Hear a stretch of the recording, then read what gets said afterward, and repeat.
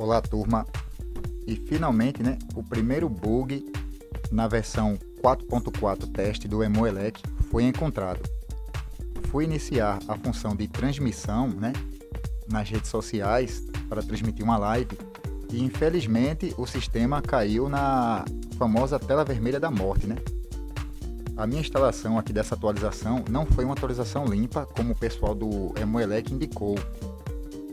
Eu apenas peguei a imagem, inseri na pasta update, liguei a box para o sistema atualizar. E até aí, né, tava usando o sistema de boa, tava tudo normal, mas só que hoje eu resolvi usar a função de transmitir lá para o Twitch.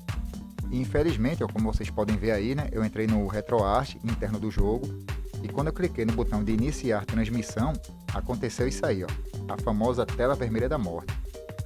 Aí esse vídeo né, fica como registro, porque se algum desenvolvedor do Emoelec ver esse vídeo aqui no YouTube, ele deixa aí nos comentários uma solução ou simplesmente lance né, futuramente uma atualização para corrigir esse problema.